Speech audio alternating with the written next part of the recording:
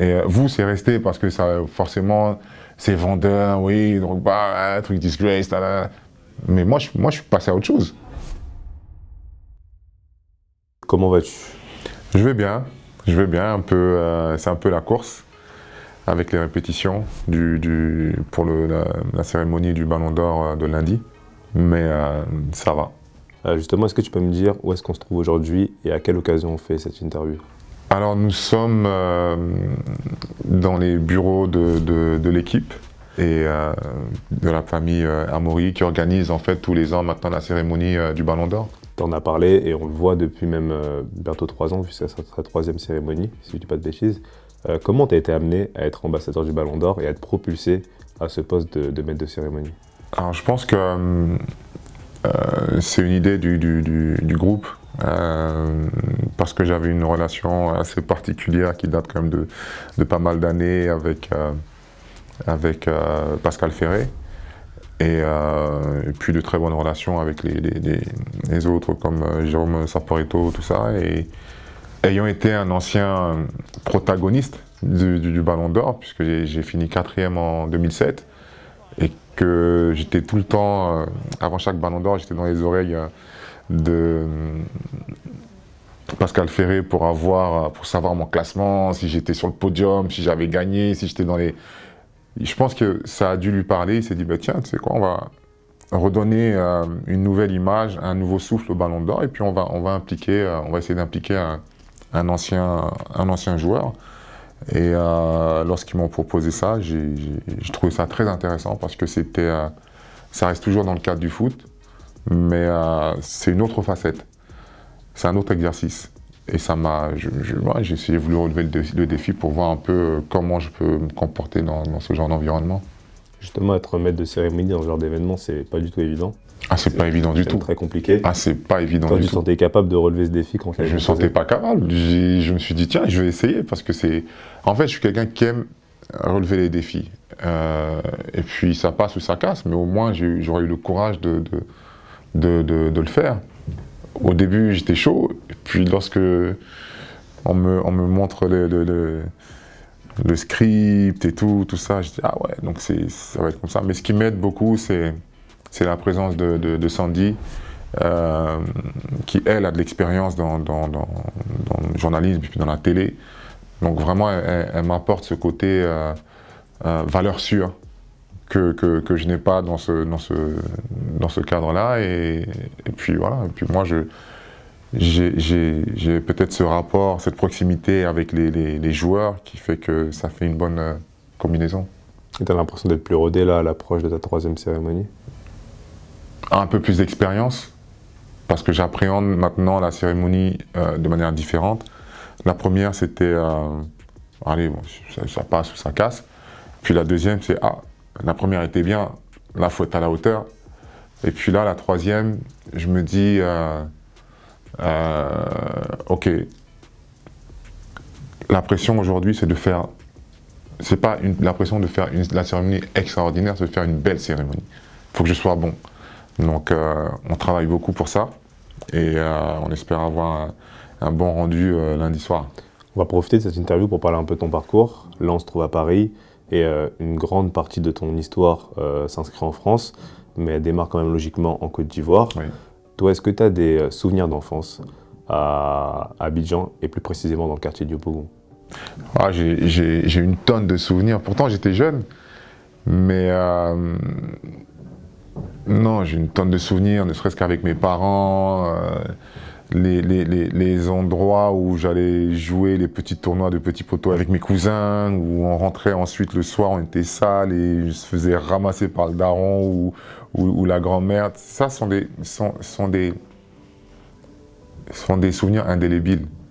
Euh, et c'est peut-être ce qui, ce, qui, ce qui a fait que euh, plus tard, lorsque j'ai eu euh, le choix de, jouer pour l'équipe nationale de Côte d'Ivoire et de France, c'est ce, qui a, ce qui a fait la différence parce que je suis très attaché à, ces souvenirs-là et puis euh, aux, valeurs que mes parents m'ont inculquées euh, pendant cette enfance. Tu as parlé de, souvenirs euh, relatifs au foot.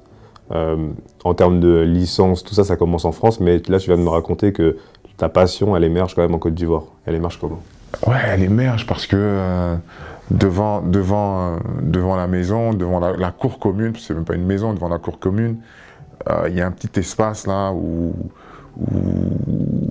les, après-midi ou les, week-ends, on se retrouve tous entre jeunes du quartier à, faire des matchs. Et puis au final, on, est tellement nombreux qu'on est obligé de faire des tournois. Donc on prend une, on prend une bouteille en plastique, on la coupe en deux, et le, le haut de la bouteille, on, on, le met à l'envers. Donc ça fait comme un entonnoir. Et puis on, achète, euh, chaque équipe achète des bonbons, on met tous les bonbons dedans, et puis voilà, ça fait le trophée, par exemple. Et, et, au fur et à mesure, on arrive à, cotiser suffisamment pour s'acheter un, un, petit ballon en plastique. On est super content. Dans quelles conditions tu pars en France? Dans de très très bonnes conditions. Je, je, je, euh, je, pars avec mon oncle qui lui était professionnel en France, à Brest.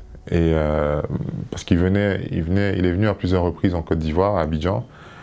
Et, moi, j'étais fasciné. Euh, j'étais curieux. Je me disais, ouais, il va en France et tout. C'est comment la France et où? J'ai envie d'y aller. Quand il part, à chaque fois, je suis déçu. J'ai envie de partir avec lui. Et puis bah, le jour où ça, ça, ça, arrive, où finalement il dit oui, je peux te prendre avec moi, euh, le départ est plus difficile que prévu, parce que j'ai quand même 6 ans. Et, et c'est un départ difficile, mais quelle aventure aujourd'hui. Là, on parle de Michel Goba depuis, tout à l'heure, qui était euh, footballeur pro notamment à Brest. Euh, comment tu vis cette, cette, période où en fait tu le suis à travers de son parcours sportif, où tu transites de ville en ville avec lui? Bah, il y a d'abord le, le, blues parce que mes parents, mes parents me manquent. Et à l'époque, il n'y avait pas de téléphone portable, il n'y avait pas de. Les, lignes n'étaient pas forcément euh, euh, aussi, aussi claires que maintenant. Donc euh, c'est un appel tous les, tous les mois ou toutes les trois semaines quand tu arrives à parler aux parents. Et quand la conversation dure 10 minutes, c'est exceptionnel, mais ça coûte cher. mais je, découvre en fait un, pays, une nouvelle culture et, de, nouveaux, euh, de nouveaux camarades de classe. Mais, mais surtout, je vais voir mon oncle jouer et là, c'est pour la première fois, je, me retrouve dans un stade de football et, et là, c'est la découverte. Quoi. Là, je me dis, c'est un truc de fou. L'interaction avec le public, les joueurs, euh, un débordement, les gens se lèvent, une frappe, les gens applaudissent. Et je dis, waouh, c'est ce que je veux faire. Je veux faire kiffer, je veux faire ça, je veux que les gens réagissent quand je, je veux faire ce métier en fait. Et euh, ce, blues concernant ta famille, tu arrives à le combler en rentrant euh, en Côte d'Ivoire lorsque ton titre de séjour. Exactement. Exactement. Je, par la force des choses, je, je, rentre en Côte d'Ivoire et je retrouve mes parents et je, me retrouve à nouveau dans un environnement où euh, bah, je suis jeune, quoi. Je, suis content de, retrouver mes parents, de voir mes cousins, de voir que mes sœurs ont, grandi, euh, ma sœur a grandi, que j'ai une autre petite sœur et tout qui est, qui est, là. Donc je, suis, je suis bien, je suis bien. Et quand tu reviens en France par la suite, tu as le football dans un coin de ta tête? Oui, oui, j'ai le football dans un coin de ma tête, mais c'est pas, pas quelque chose d'omniprésent, non. C'est dans un coin de ma tête parce que quand je retourne en Côte d'Ivoire, je continue ces tournois là avec mes cousins et tout. Donc, mais pas. Là, par contre, je sais pas, je me dis pas, ouais, je veux devenir. Ah, il faut que je devienne professionnel, j'ai envie de devenir professionnel. Non, je, je vais à l'école. Euh, euh, d'abord, on est, on est à Angoulême, on reste pas longtemps, mais ensuite je pars à, Dunkerque. Et euh, c'est d'ailleurs là que je signe ma première licence. Mais euh, c'est la, première fois que j'ai un, équipement, euh, l'équipement, les survêtements qui est le même que les pros et tout. Et là, tu, tu dis, première licence, je joue arrière droit, je suis content. Je vois l'équipe jouer des matchs en D2. Euh, tout part de là, en fait. Et pourquoi ces débuts en arrière droit? Parce que moi, je ne me suis jamais posé la question, en fait. C'était par défaut? C'est j'avais pas de place en fait. Je savais pas si j'étais un attaquant ou un milieu ou un arrière droit, je savais pas. Donc euh, j'arrive et puis euh, le coach me met arrière droit, peut-être parce qu'on, j'ai pas souvenir, mais je pense qu'on a, on manquait de, de, joueurs à ce poste peut-être. Et il se trouve que je, je, me débrouille plutôt bien. Euh, un peu à la cafou. je, prends vraiment le couloir et je marque des buts sur coup de pied arrêté, avec mon pied gauche. Euh, et, mon oncle, un jour, vient me voir jouer et il dit Ah non, non, non, mais chez nous, c'est pas comme ça. Nous, c'est des avant-centres, des attaquants et tout. Ah. Sauf que là, je peux pas, je peux pas dire au coach Eh non, en fait, moi, je suis avant-centre. Dieu, mais qu'est-ce que tu racontes? Donc, je finis la saison et quand on déménage et quand on arrive à Abbeville, quand j'arrive là-bas, je dis au, nouveau coach, euh, oui, je suis avant-centre. Alors, j'ai jamais joué devant. Et là, je, je, plante euh, but sur but et, tout. Voilà. Parce que je sais comment se comporte un défenseur. Et donc, je me retrouve dans une situation où je suis attaquant maintenant et je sais comment les, prendre à défaut. Et puis, puis voilà, ça, ça, ça, ça démarre. En tout cas, c'est à ce moment-là que tu, euh, tu, commences, en tout cas, tu entames ta formation en école de foot. Donc, tu l'as dit, à Abbeville, euh, qui subit malheureusement des pots de bilan. Il y a l'US Tourcoing, mm. il y a Vannes. Et après, il y a un petit Mais c'était pas, c'était pas en, centre de formation. Hein. c'était, c'était vraiment dans le club. Je joue, je rentre chez moi, je fais mes devoirs, je vais à l'école. Voilà, une à deux séances par, euh, par, euh, par, par, semaine. voilà. Voilà, le foot comme un jeune de, ton âge. Voilà, exactement, exactement. Et après, il y, a un petit événement quand même en 91, c'est l'arrivée de tes parents en France, qui n'ont pas du tout le même positionnement concernant le foot. Oui, Oh, déjà bien avant. Ouais. Déjà bien avant, puisque euh, à l'âge de 13 ans, euh, je, devais, intégrer euh, Clairefontaine. Et, mon père n'a pas voulu. Donc il a reçu une lettre pour que je, fasse les essais pour ensuite pouvoir intégrer. C'était l'INF. Et le vieux, le vieux a dit non. Il a dit non, non, non, moi je ne vais pas emmener en Côte d'Ivoire, en France pour ça, je vais l'emmener là-bas pour les études. Euh, donc euh, ça ne s'est pas fait. J'en ai voulu au début, et puis après j'ai dit merci.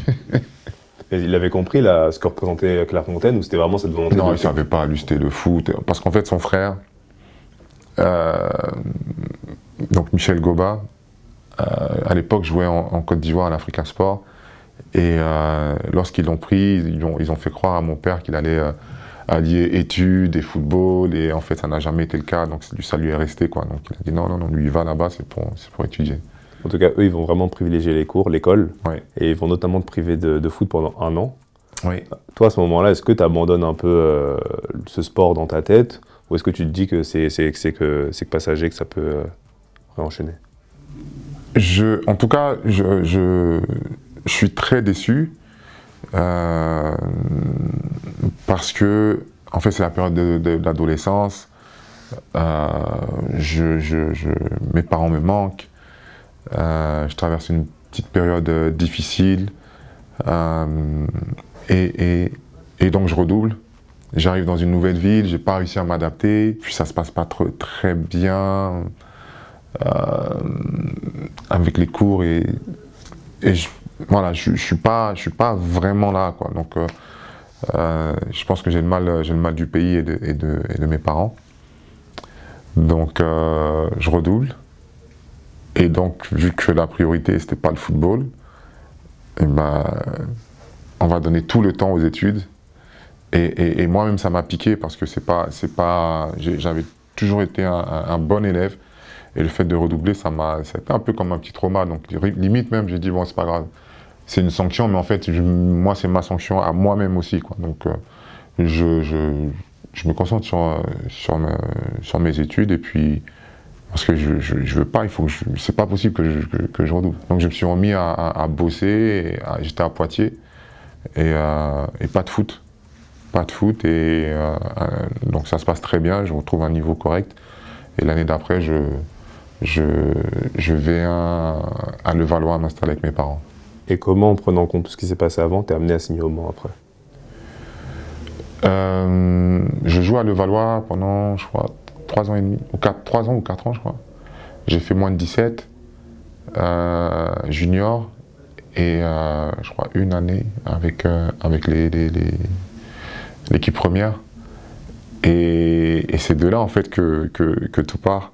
mon entraîneur à l'époque, qui est maintenant décédé malheureusement, Jacques Loncard, euh, appelle les dirigeants du Mans et leur dit que j'ai un attaquant à vous proposer, et puis, puis voilà comment les choses se, passent. Quoi. Et j'ai vu qu'ils avaient accepté sans même te voir jouer, sans même parce qu'ils avaient pris conscience, ont pris note que tu avais été notamment courtisé par le PSG. Non, en fait, ils ont, ils ont, ils ont, ils ont des recruteurs un peu partout en, en, Ile-de-France. Et, j'avais été convoqué pour une sélection Ile-de-France. Et encore une fois, mon père a dit Niet, tu, tu, tu, tu, vas pas. Euh, sauf que j'ai oublié de leur. Enfin, je leur ai pas envoyé de, de, réponse pour dire euh, Je suis désolé, je peux pas venir parce que mon père ne veut pas. Je peux pas, je, peux pas faire ça. Donc. Euh, et le responsable, à l'époque, c'était Alain Pascalou, que j'ai retrouvé ensuite au Mans en, tant que responsable des, des, des, jeunes. Donc, ils avaient entendu parler de moi, et, mais par contre, ils ne m'avaient pas vu jouer. Et les retours qu'ils avaient étaient, plutôt positifs, donc ils ont, ils ont fait confiance à, un de leurs recruteurs, entre guillemets, qui était, qui était Jacques Loncard. On n'en a pas parlé, mais comment tu parviens à convaincre tes parents de te laisser partir là-bas? Est-ce que tu dois poser des arguments concrètement sur la table pour qu'ils te laissent euh, t'envoler, enfin, partir au Mans? En fait, ils ont, ils ont suivi quand même euh, tout ce qui se passait. Ils ont vu que euh, à Levallois, j'étais, j'étais vraiment investi et les arguments que j'ai posés sur la table, c'était travaille bien à l'école, tu peux jouer. Donc, tant que tout allait bien, j'avais cette balance. Et puis, de l'autre côté, ce que je faisais, j'envoyais des CV euh, à tous les clubs de première et deuxième division. Et ils m'ont vu faire ça. Ils me voyaient écrire les, lettres. Donc, ils ont, vu à quel point j'étais j'étais euh, déterminé. Et lorsque j'ai cette opportunité de, à, à 19 ans de, je dirais pas m'émanciper, mais de, de prendre mon, mon, mon, mon, envol et quitter la, la, maison, mais ils m'ont encouragé. Et est-ce que tu arrives à, vivre pardon, convenablement à l'époque? Parce que tu étais quand même stagiaire au Mans, et en parallèle, tu devais dealer avec des, euh, études de comptabilité. Euh, écoute, normalement, c'est pas quelque chose de compliqué, euh, puisque les entraînements avaient lieu en soirée. Et, et toute la journée, on était, on était au, au lycée moi, dans mon, dans mon cas, c'est le, changement entre milieu amateur et milieu professionnel qui m'a qui m'a qui m'a qui m'a coûté euh, dans le sens où j'étais tout le temps blessé. Et quand tu as un objectif qui est de ne plus revenir à la cité euh, de réussir et que tu es blessé psychologiquement c'est plus dur d'aller en cours. C'est plus dur d'être focus sur sur sur euh, les, les, les, mots du prof. Et tu ne penses qu'à une chose c'est quand est-ce que je vais revenir Parce que tu vois tes potes en train de s'entraîner tous les jours et toi, tu es là, tu sers à rien.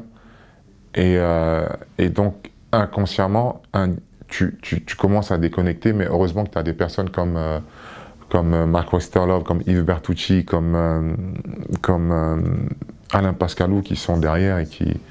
Bon, il y en a un qui, qui était dur avec moi et les autres qui étaient derrière un peu plus souples. Donc, c'était une belle équipe qui, a, réussi comme ça à me manager et puis, et puis m'accompagner vers, vers le, professionnalisme. En tout cas, tu l'as dit, mais au cours de ces deux saisons, tu te fractures deux métatarses. J'ai tout fait. Un péroné, une cheville. J'ai tout fait. Et euh, deux même, Deux péronés Ok. J'ai même vu que euh, tu étais très, euh, très léger niveau, niveau endurance, que tu pouvais très facilement fatiguer. mais j'avais pas d'endurance, c'est-à-dire qu'en région parisienne, tu travailles où ton endurance? On fait des stages de pré-saison en général. Mais dans d'autres régions.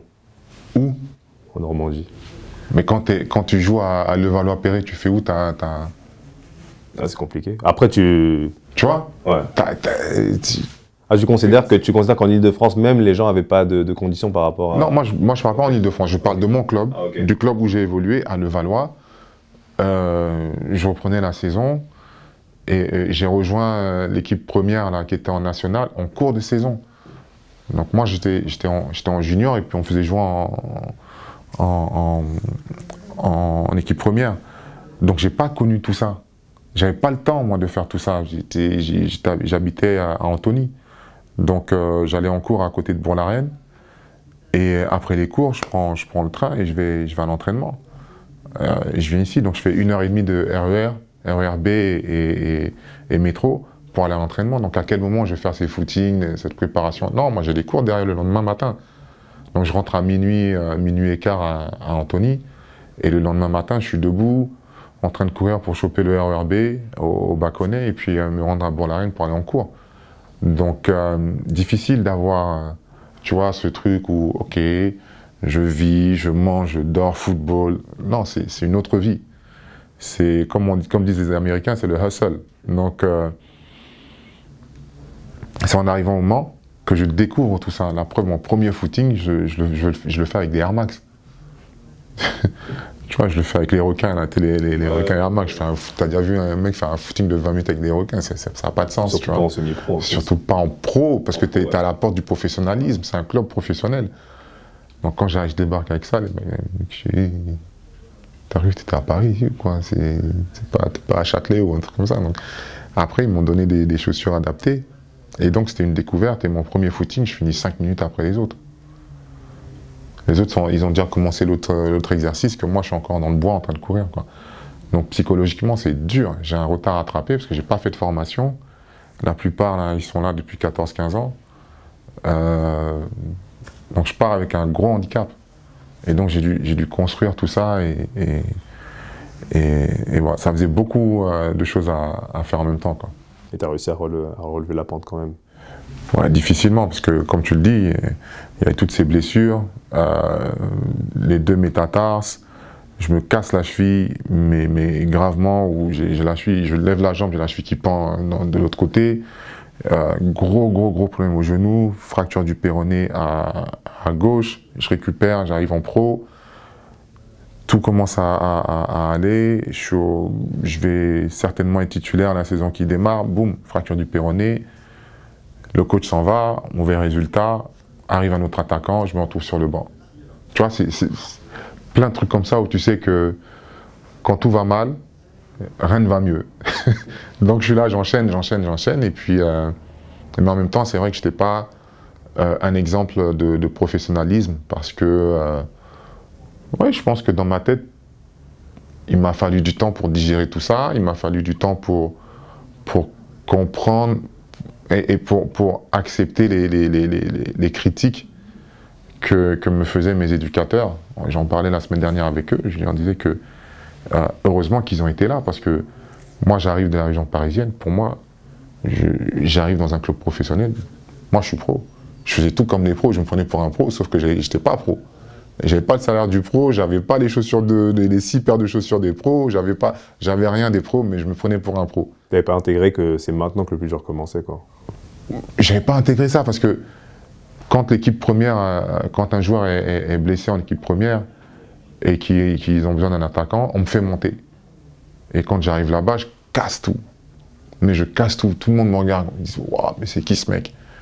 Puis après ça, je retourne avec la réserve et puis voilà, tranquille. Et puis je reprends mon, mon rythme. Euh, euh, les allers-retours à Paris, euh, les, sorties, les soirées de Ligue des Champions avec du Yop, je suis au Yop et à la pizza ou des trucs comme ça. Donc il n'y a personne pour me surveiller et j'avais pas encore intégré que j'étais mon propre, comment dire, surveillant en gros quoi. Fallait, fallait que, fallait que, je, fallait que je, devienne autonome et responsable. Et, et c'était pas le cas. Et après, il y a le moment de la, de la vraie révélation, c'est à Guingamp. Est-ce que tu te souviens des conditions, du moins du climat de l'époque quand tu débarques dans ce club? Non, pour moi, excuse-moi, la vraie révélation, c'est c'est les six derniers mois à, au Mans. Ok. Où, euh, où je, je, je, reviens de ma blessure et puis je, je fais une saison, une demi-saison où je suis remplaçant, je ne joue que 10 minutes, 15 minutes, mais quand je rentre, il se passe quelque chose. C'est-à-dire que j'ai intégré le fait que euh, je n'aurais peut-être que 10, 5, 5, 10 ou 20 minutes de, de, de, jeu, mais comment les mettre à profit?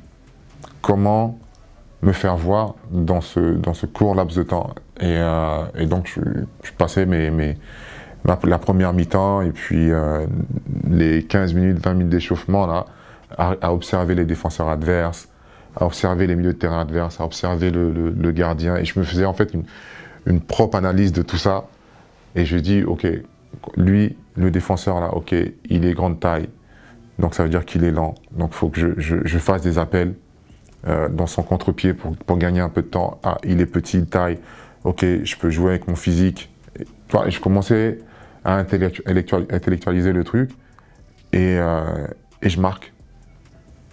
donc je me trouve à 6 buts en, une demi-moitié de saison, alors que je joue à peine des, des, bouts de match, mais des buts contre des équipes, de grandes équipes historiques comme Saint-Étienne, Bastia, tout ça. Donc, Guignon, et, je pense que c'est là que, là que tout, tout bascule.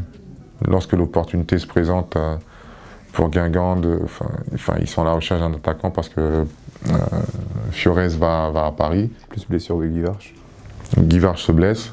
Euh, Guy Lacan, qui m'avait vu jouer encore 15 minutes à Guingamp, pour, pour un Guingamp Le Mans, avait flashé à l'époque, mais euh, donc il avait mis quelqu'un pour me suivre, mais je me suis blessé, je me suis cassé le péroné, donc ils ont laissé tomber.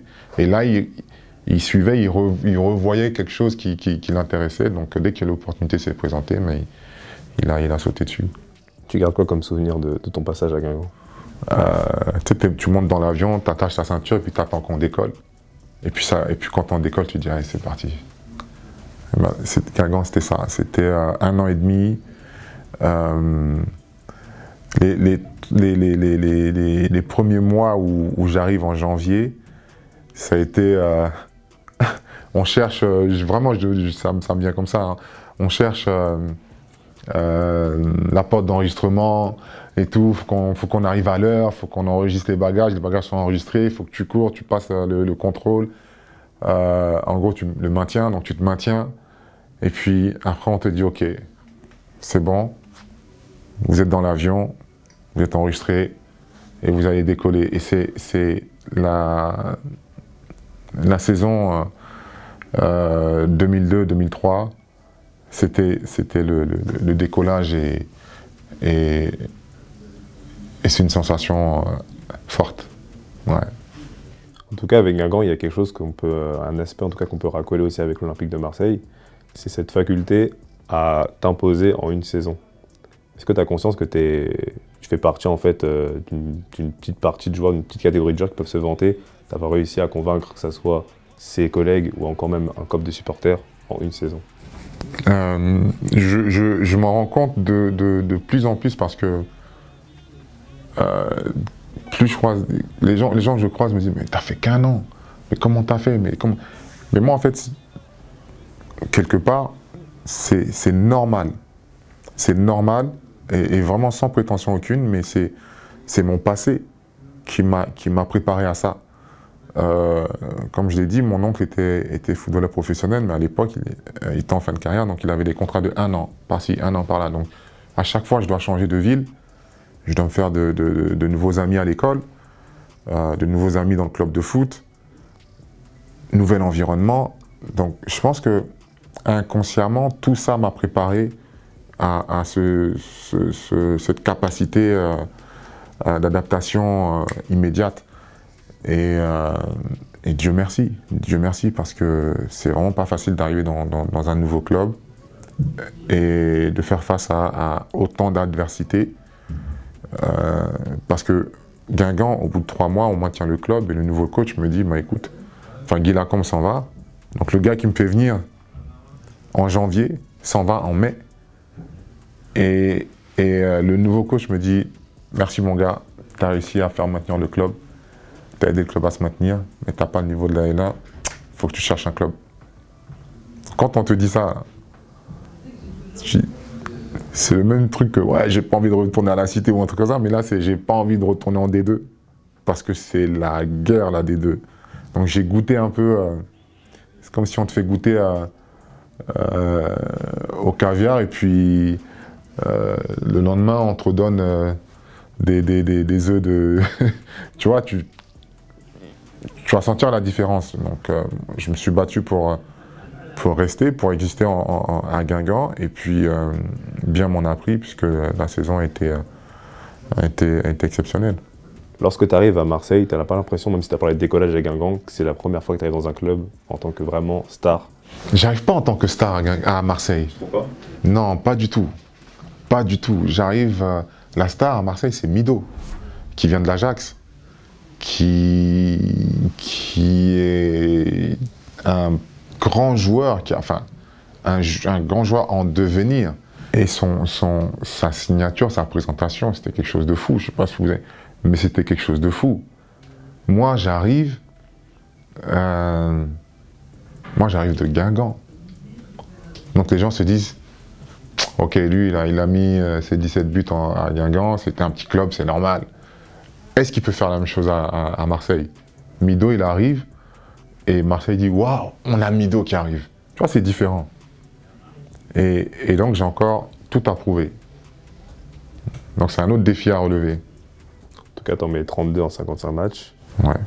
Quand on parle de cette époque Marseille, est-ce qu'il n'y a que le but de Newcastle qui vient en tête ou? Non, là là non, non, non, non, Quand on parle de cette époque à Marseille, euh, il y a d'abord le stade Vélodrome qui me parle.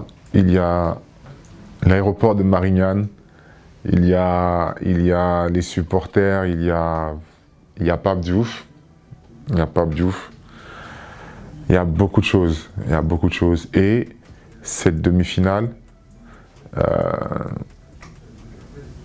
qui, qui, qui pour moi est la preuve qu'on peut contrôler, euh, on, peut, on peut prendre son, son, destin en main. ok on peut écrire sa propre histoire. Et, et, et, ce scénario, en fait,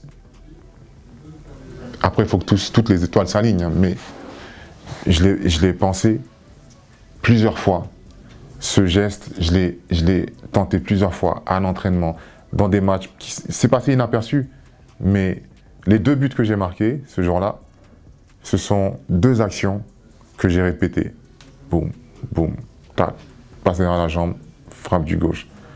Et, le matin du, match, euh, j'avais fait une petite séance légère parce que je ne me suis pas entraîné les, deux jours précédents pour voir si je pouvais jouer. Et, le geste que je fais euh, sur le premier but, je mets en place un exercice. Donc je mets deux plots, dribble à droite, dribble à gauche. Au sortir de ça, je la passe derrière la jambe, enroulé pied gauche, petit filet. Je fais l'autre côté, tac, tac, tac. Passe le ballon derrière le pied gauche, derrière le pied droit, enroulé pied droit. Et je dis, ah, ah c'est pas, ah, ok. Tu le répètes tout seul ce geste. Ok, ok, ok, ok, ok, ok. Ce soir, je tente. C'est parti.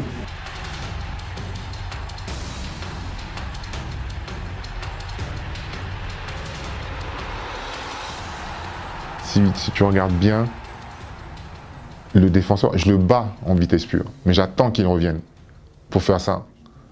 Donc j'ai la sensation de dire c'est moi qui contrôle. Ce match-là, -là, c'est moi et personne d'autre. Puis il y a la place, hein, vous voulez marquer, vous marquez, mais en tout cas moi, ce qui est sûr, c'est que moi je vais faire ça. Tu m'as dit que tu n'étais pas une star quand tu arrivé à, à Marseille. Tu as quel statut quand tu arrives à Chelsea? Euh...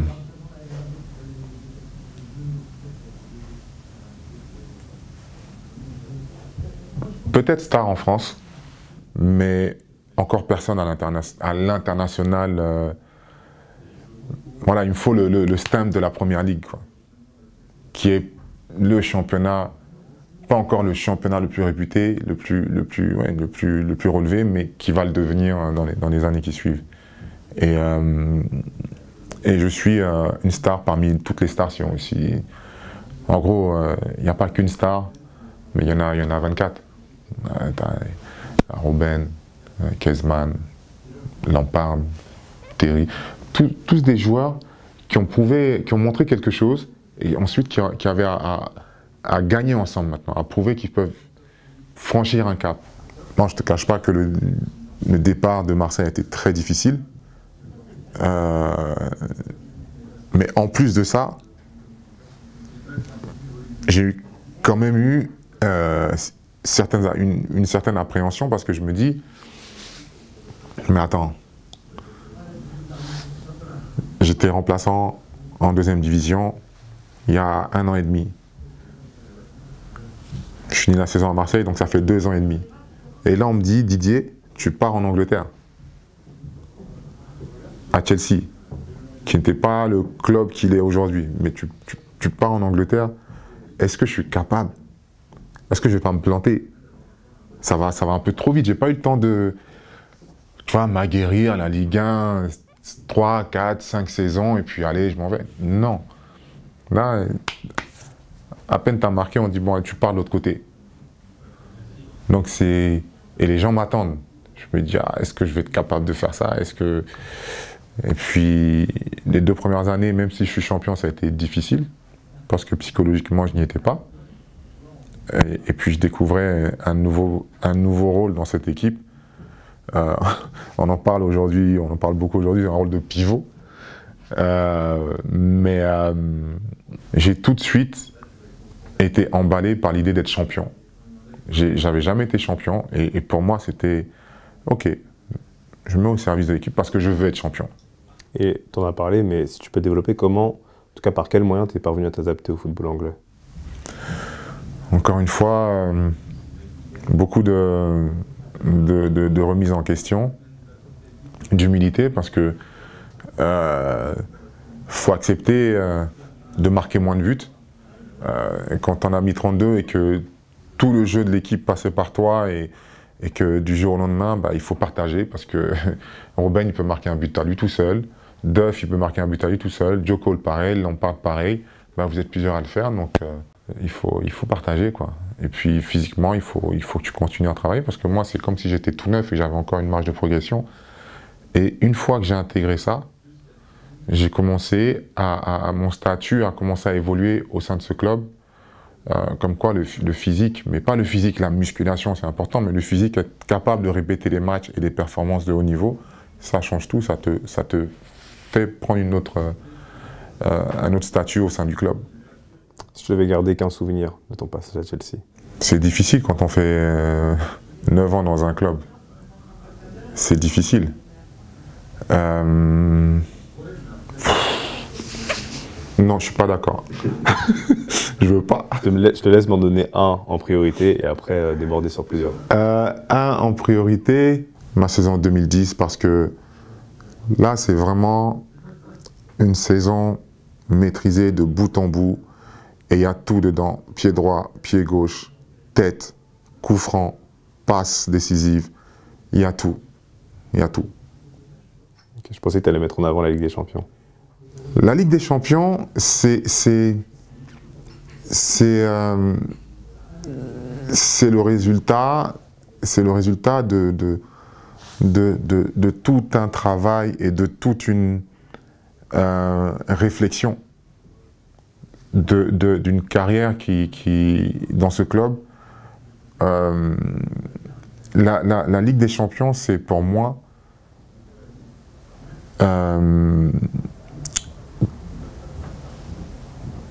je dirais, le, le, le, le, résumé, le résumé, le condensé de, de tout ce que j'ai appris, euh, tant de mes, de, mes, de mes échecs que de mes réussites pendant, pendant, pendant toutes mes années de footballeur, avant.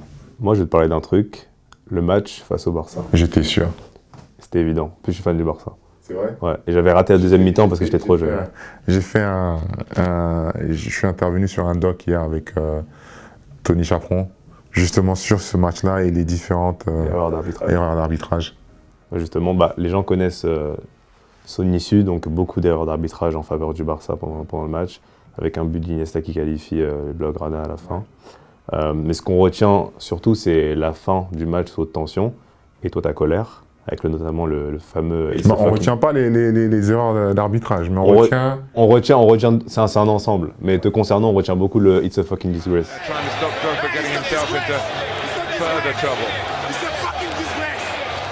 Oui, parce que, parce que je, suis, je suis un homme de, de, de vérité et que, et que au final, tout le monde se rend, tout le monde se rend compte que, que nous, les footballeurs, on est des êtres humains comme vous tous, comme, comme tout le monde.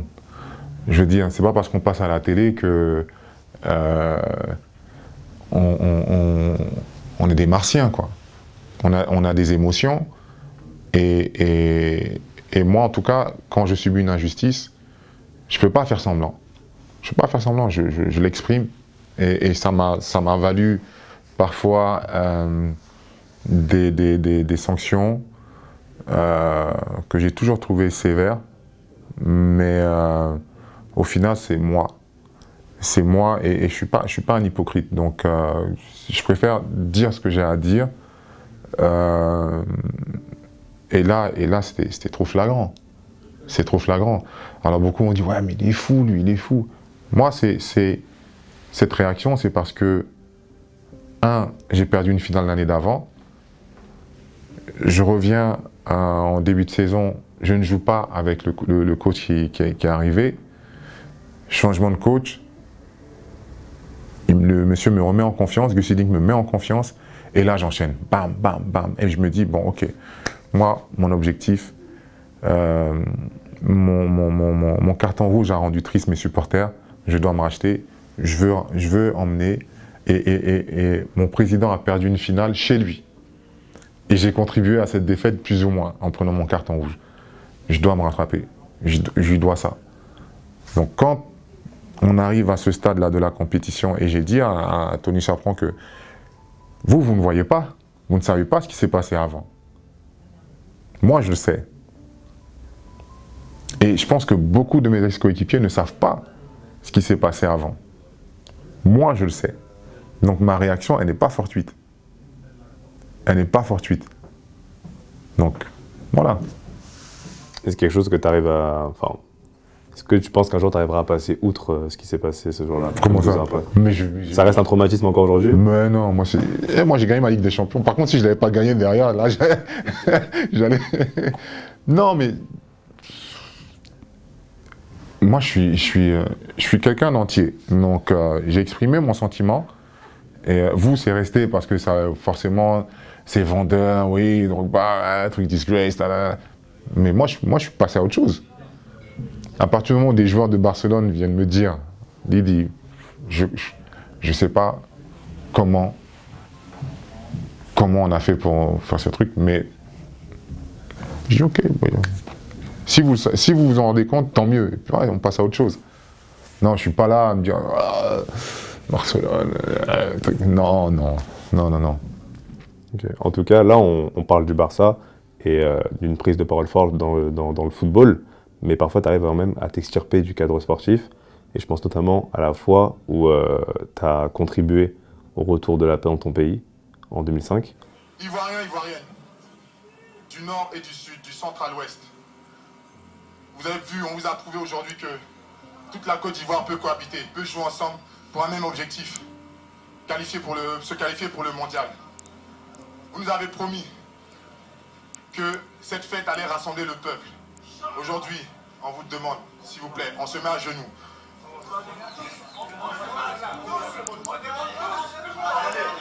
Pardonnez. Pardonnez. Pardonnez. Le seul pays, le seul pays de l'Afrique qui a toutes ses richesses ne peut pas sombrer dans la guerre comme ça. S'il vous plaît, déposez tous les armes. Faites les élections, organisez les élections et tout ira du mieux. Euh, J'ai pas envie d'exposer le contexte à ta place. J'aimerais bien que tu m'en reparles. non, en fait, si tu veux, c'est. C'est. Euh, on, est dans un, on est dans un contexte euh, social en Côte d'Ivoire qui, qui, est compliqué. Beaucoup de tensions au niveau des politiques. Et, et le, pays est divisé en deux, deux semaines après un match de l'équipe nationale à Abidjan. Et, et, nous, on joue les, qualifications pour la Coupe du Monde et, et on arrive à se qualifier. Et puis ce jour-là, ben, pourquoi, je ne pourrais même pas te l'expliquer. Je pense que c'est juste un, je ne euh, je sais pas, t'es de quelle origine? Camerounais. Voilà, si par exemple, toi, tu, as vécu au Cameroun, tu... tu... Et malien aussi. Voilà, tu vois, bah, voilà, tu vois, le Mali, aujourd'hui, il y a une situation qui n'est pas la même que, que, la nôtre, mais il y a une situation, et puis euh, tu sens que ton pays souffre, que tes, tes, concitoyens souffrent, et tu, tu arrives à leur, donner du bonheur grâce à cette qualification, tu te sens dans une position de, de, t'exprimer, de dire, vous savez quoi, nous, on a réussi à vous donner ça là. Nous, s'il vous plaît, on veut juste la paix. On veut juste la paix. Donc c'est parti d'un truc d'une émotion, encore une fois, comme je te dis, je, dis ce que, si j'ai si l'occasion de le faire, je, je, dis ce que je ressens, et, et, mais sans savoir que ce message allait être euh, euh, divulgué, et puis, enfin, que ça allait se propager, ça allait être revu et vu dans tous les JT. Je me doutais pas de l'impact de ce, de ce message. Et, euh, et ça a fait tous les JT du midi et du soir pendant, pendant six mois. Et, indirectement, c'est là qu'on se rend compte, on se rend compte pardon, de, de, l'impact du sport. Je sais qu'en off, tu m'as parlé, enfin, tu n'aimes pas trop parler des regrets, mais tu restes le meilleur buteur de ta sélection, tu fais partie d'une génération dorée. Je pense à Zokora, je pense à Kalou, je pense aux frères euh, Touré et Gervinho. Ouais. Et, euh, j'en passais des meilleurs, mais tu n'es jamais parvenu à gagner la canne. Ouais. Est-ce que ça reste quand même une petite tache noire dans ton parcours ou un éternel regret? Sincèrement, euh, quand, quand, quand, tu vois d'où je suis parti et, ce que j'ai pu, à, ce que j'ai pu, j'ai pu réaliser, sincèrement, c'est au-delà de mes espérances. Tu vois, mes plus, même mes rêves les plus fous, je les voyais pas comme ça. Euh, mais c'est vrai que, en tant que compétiteur, tu te dis, ah, je, j'aurais aimé faire la photo avec ce trophée, tu vois. C'est comme la Coupe du Monde, tu te dis, ah, t'as une petite photo de, de, moi avec le trophée, c'est pas mal quand même, tu vois. Donc ça, c'est une frustration. Et puis, pour la Côte d'Ivoire, enfin, moi, pour la Côte d'Ivoire, c'était une manière de leur redonner tout l'amour qu'ils m'ont donné. Et donc oui, c'est dans, dans ce sens-là, c'est un regret, une frustration, frustration. Mais pour mon palmarès personnel, ouais, c'est une ligne en moins sur, sur tout ce que j'ai gagné. Mais pour mon pays, je sais que ça, aurait été euh, un, truc euh, extraordinaire. Mais je pense avoir eu l'opportunité de leur, de leur, faire vivre des, émotions fortes, mais en, toute humilité. C'est pas, pas une canne, mais envoyer son pays en Coupe du Monde pour la première fois de l'histoire du pays. Euh, voilà, c'est pas, pas négligeable. Donc ça n'entache absolument pas le statut de, meilleur joueur ivoirien qu'on te, colle à juste titre ah, Ça, c'est à eux de, décider. Moi, je, moi, j'ai fait que jouer et puis après, ça va être décidé. Dans ce système un peu de comparaison, où les choses qu'on auxquelles on t'a étiqueté toute ta carrière, il y a la comparaison avec Samuel Eto'o. Ouais. Je pense que depuis que je suis petit, j'entends toujours euh, les débats euh, Drogba Eto'o. Est-ce que toi, t'estimais, enfin déjà, qu'est-ce que tu penses de cette comparaison? Est-ce que tu estimais qu'elle était justifiée? Et euh, en quoi ça a pu jouer, si ça a joué d'ailleurs, sur euh, ta carrière, que ce soit toi ou Samuel? Non, moi, ça n'a pas joué sur ma carrière euh, parce que je ne fais pas ma carrière par rapport à un autre joueur. Il se trouve que bah, lui a commencé le haut niveau bien avant moi, puisqu'il était déjà dans un club comme Madrid ou Majorque. Moi, j'étais à Guingamp. Moi, j'étais moi, j'étais remplaçant en deuxième division. Donc, je ne me compare pas à lui. Moi, j'ai fait ma carrière pour voir jusqu'où j'étais capable d'aller.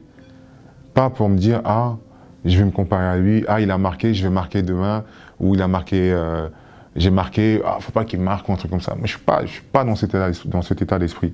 C'est pas ma philosophie, c'est pas comme ça que j'ai été éduqué.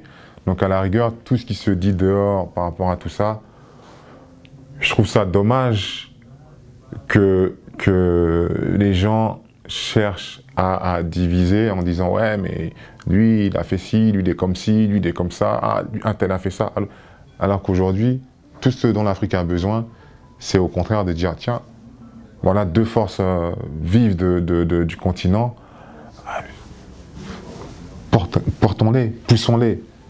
Parce qu'on a besoin de ça. Parce que vous ne savez pas à quel point c'est difficile. Alors nous, on perd, on perd notre temps à, à faire des, débats, euh, euh, pas forcément sportifs, mais tu vois, ça va souvent même au-delà de ça, à se, à se chamailler euh, comme ça. Alors que pour nous, évoluer en Europe, ça n'a jamais été facile. Donc on sait à quel point c'est difficile, mais voilà, au final, au final, moi j'estime que ces deux joueurs-là dont je fais partie ont permis au continent d'avoir une place meilleure sur la scène mondiale. Voilà, maintenant, aux jeunes de prendre la relève.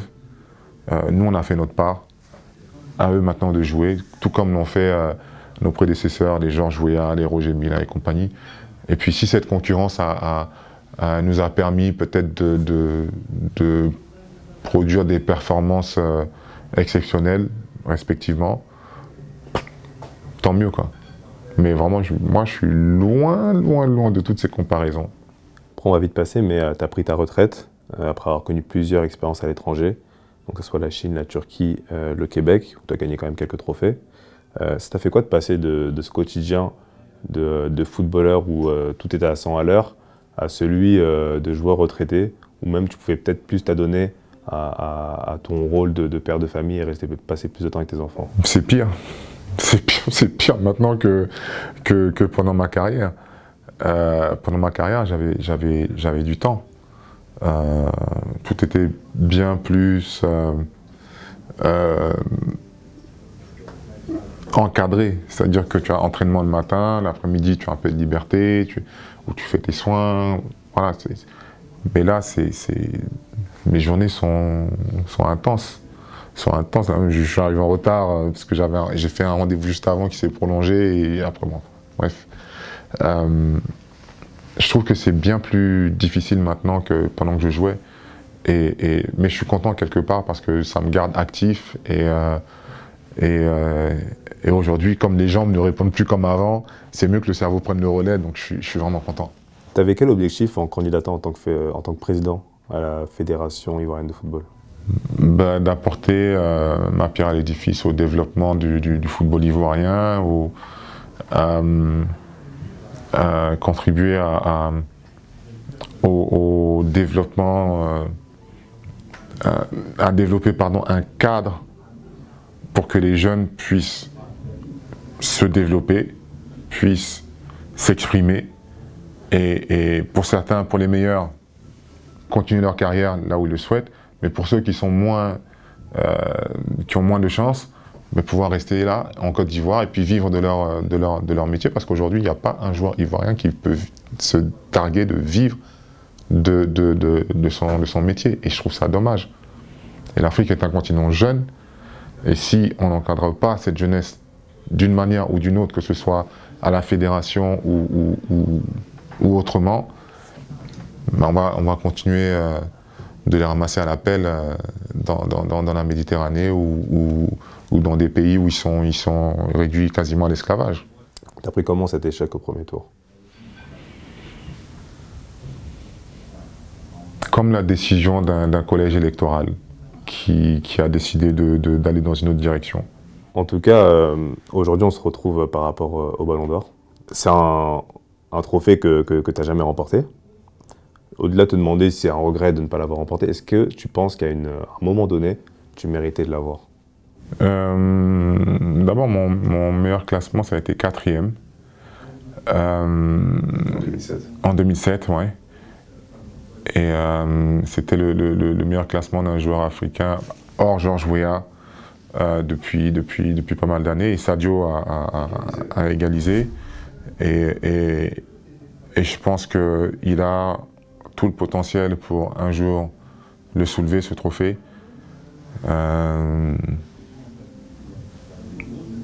Je pense que oui, 2007, c'est une année charnière. Euh, parce que si, je remporte la Ligue des Champions avec, euh, Chelsea et, euh, que ma frappe avant la prolongation, au lieu de taper le poteau et de sortir et tape le poteau et elle rentre, c'est pas la même histoire. C'est pas la même histoire. Voilà. Donc, euh, c'est. Euh,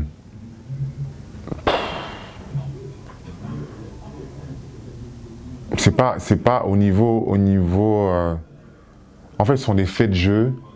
Mais j'aime pas le mot regret, parce que quand on dit regret, c'est comme si ça te tracasse toute ta vie et tout. Non, moi, c'est. Je, je, des, des, des, des, des récompenses individuelles, j'en ai eu.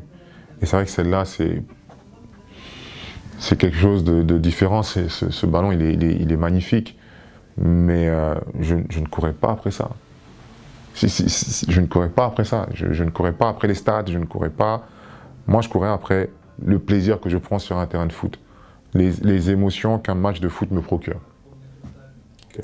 Là, on se voit quand même pour euh, l'édition 2022. Oui. Est-ce que euh, tu as quand même un favori en tête? Oui, oui, j'ai un favori. Tout comme j'avais un favori l'année dernière et, et, tout comme j'avais un, j'ai un favori tous les ans. Est-ce qu'il s'aligne sur les pronostics? Je ne sais pas quels sont les pronostics. Karim Benzema. Ah, ça, ce sont des pronostics. Ok, toi, tu vois qui en tant que, en tant que lauréat cette année? Mais je ne peux pas le dire parce que j'ai beaucoup d'amis qui seront là euh, euh, lundi. Euh, des, joueurs qui sont, qui sont, eux, encore en activité. Et, je ne veux pas que mon téléphone sonne après cette interview pour qu'on me dise Ouais, mais t'as vu, mais pourquoi t'as dit un tel? Pourquoi Laissez-moi tranquille. Moi, je suis maître de cérémonie. J'ai cette neutralité que je dois observer et j'essaie de le faire le, mieux possible. Là, déjà, on arrive à la fin de l'interview. Avant qu'on se quitte, est-ce qu'il y a un sujet ou un thème que tu aurais aimé aborder et dont on n'a pas parlé?